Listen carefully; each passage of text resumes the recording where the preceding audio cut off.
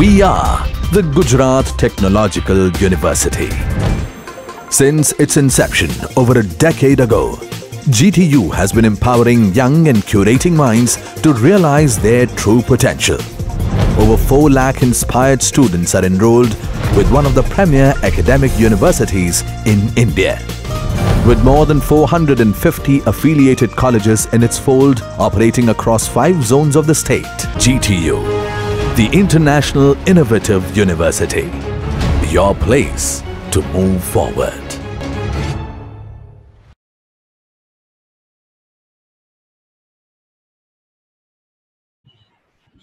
So now we are learning what is flexure stresses.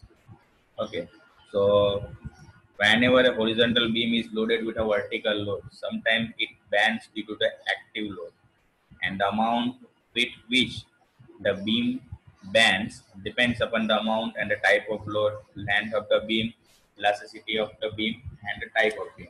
So bending moment at a section tends to bend or deflect the beam and the internal resistance resist its bending. So the process of bending stops when the cross section sets up a full resistance to bending.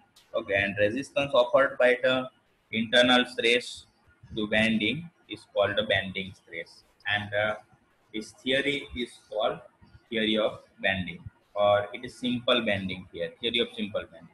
So this is the very important part, assumption made in the simple bending theory. So the material of the beam is perfectly homogeneous throughout its length and isotropic. Homogeneous, that means it is made of the entire uh, beam is made of the same material. And the isentropic, that means it will exhibit the same elasticity in all direction. The material, the beam material is stressed within elastic limit and it must obey Hooke's law. The traverse section, which is placed uh, where plane before bending and after bending. So it must be plane. Each layer of the beam is free to expand and contract independently of the layer above or below it. Okay. The Young modulus is same in tension as well as compression in both condition it is same. The beam is in equilibrium condition, then there is a no resultant push or pull force on the beam. So uh, now we have to understand the theory of simple bending. Now consider the, a small length of a beam is subjected to uh, bending as shown in figure. Okay, now consider the two sections. If it, this is a entire beam, okay, this is the center neutral layer RS, upper layer that is a AC, and uh, lower level that is a BD. Okay, since we uh, we are considering the small length dx, we have considered only small length dx here.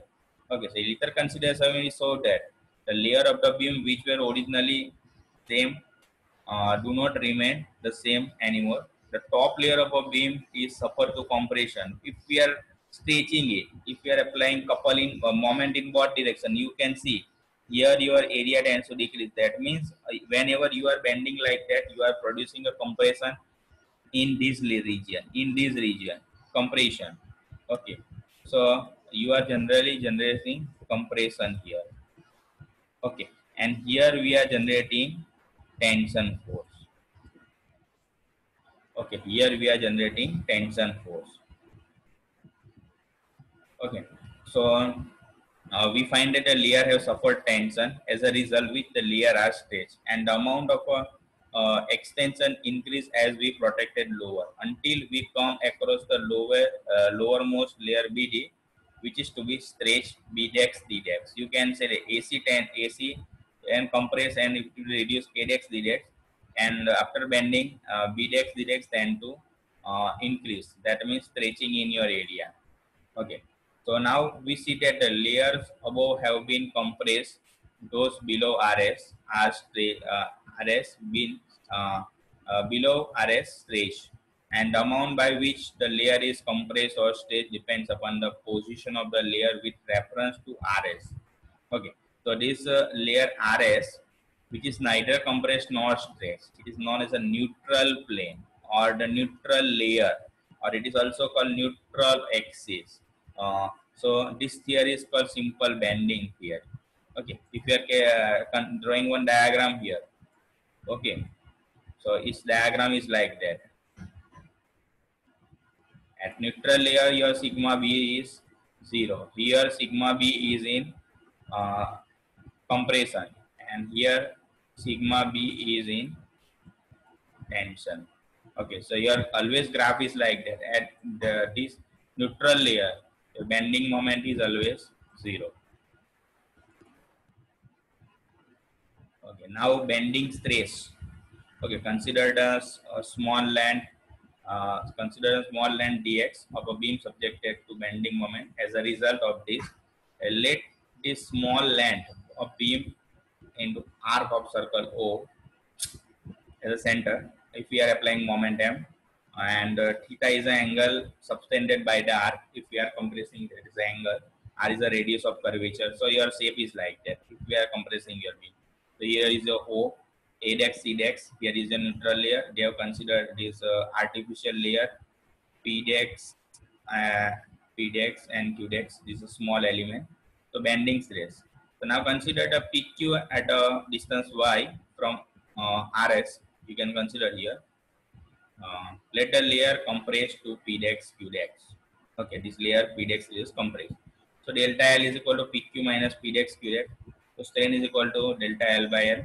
So PQ minus PDX QDX divided by PQ. Now, uh, from geometry, we can observe that PDX QDX divided by RDX uh, is equal to R minus Y upon R. So we are just uh, 1 minus, we are subtracting from 1 from what side. Okay, so we are getting like that. So uh, this is nothing. This is R by r r by, so this is nothing but this is strain. So epsilon is equal to Y by R. Now, the strain of a layer is proportional to the distance from the neutral axis. So we can derive here uh, from this equation we can derive here.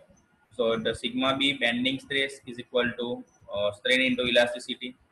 So sigma b is equal to strain into elasticity epsilon upon e. So sigma b is equal to y upon r into e.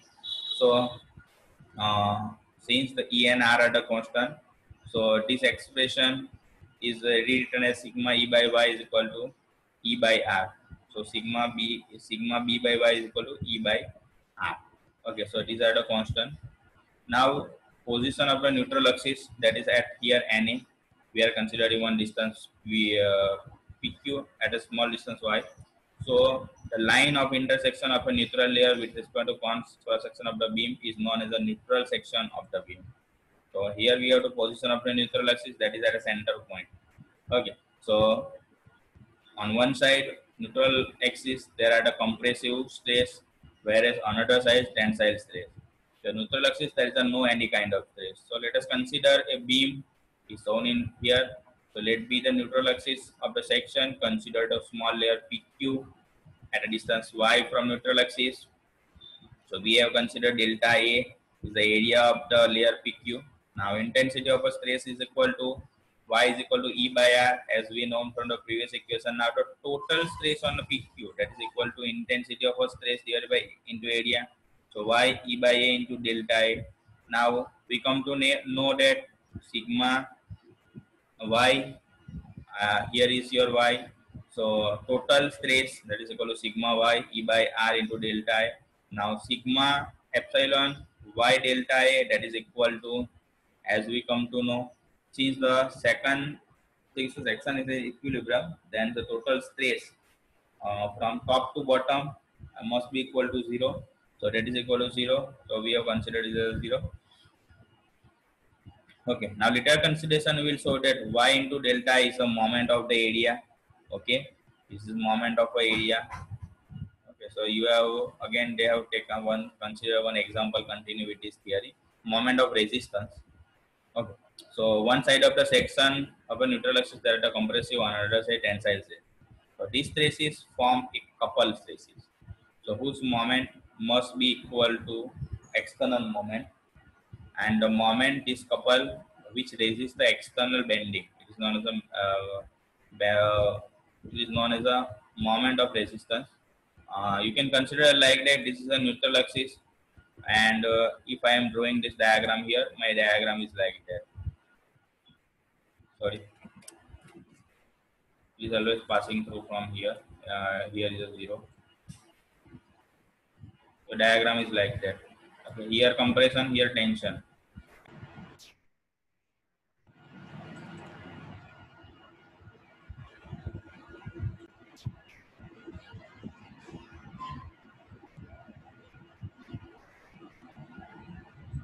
So here moment of resistance we are thinking. Okay, so we have seen that. So the later delta is the area of PQ. Now intensity of sigma is equal to Y E by R. So total stress is equal to PQ is equal to Y into E by R stress into area. Okay. Now the moment or total moment on the stress that is equal to Y into E by R into delta into Y. So E by Y square delta. Now algebraic sum we are considering M is equal to sigma E by Y square delta is equal to. So you can rewrite this equation. So M uh, E by R is a constant and sigma y square delta I that is equal to moment of inertia I. So you are again rewriting this equal to M by I is equal to E by R. So we are comparing this equation. Uh, sigma by y is equal to E by R. Already we have discussed. So total equation this is called theory of bending equation. M by I sigma by y is equal to E by R. So this is the most important theory of bending equation which give, the various characteristic of the beam. Okay so this is the very important formula for you. Okay so this is simply theory of bending